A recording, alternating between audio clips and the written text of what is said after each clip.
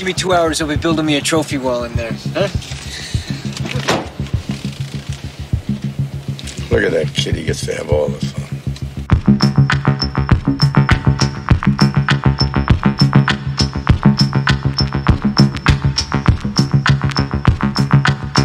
There's gonna be a nine ball tournament end of April, Atlantic City.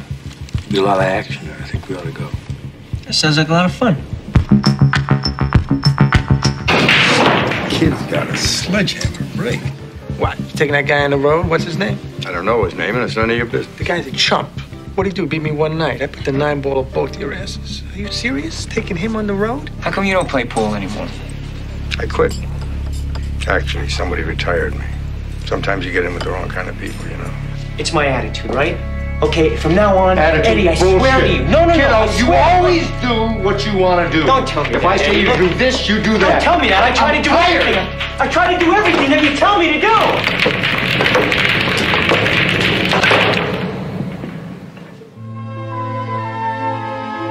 I showed you all I got. I showed you my ass in here.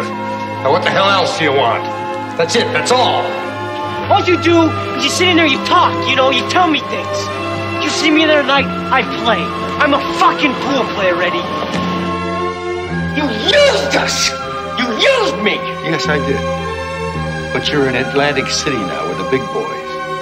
You're not back there in the stockroom playing around with baby dolls. Think about it.